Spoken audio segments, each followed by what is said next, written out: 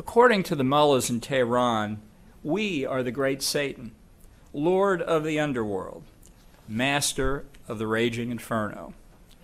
So I might imagine they would take me seriously that I, I, when I assure them today that if you cross us, our allies, or our partners, if you harm our citizens, if you continue to lie, cheat, and deceive, yes, there will indeed be hell to pay.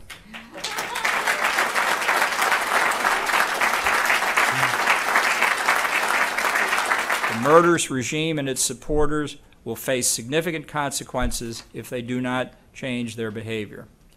Let my message today be very clear. We are watching, and we will come after you. Thank you very much.